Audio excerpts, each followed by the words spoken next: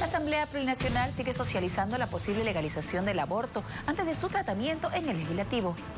Diferentes instituciones y plataformas continúan debatiendo sobre las reformas al Código de Procedimiento Penal, principalmente en el tema del aborto. Los parlamentarios del oficialismo y oposición se refieren al tema. Es el compromiso de la comisión, aún no se ha aprobado ni en la comisión. Esto ingresó a Cámara de Diputados y el compromiso era socializar. Se está socializando, recién se tomará la decisión de poder incluir, modificar, suprimir algún artículo de este proyecto del sistema penal.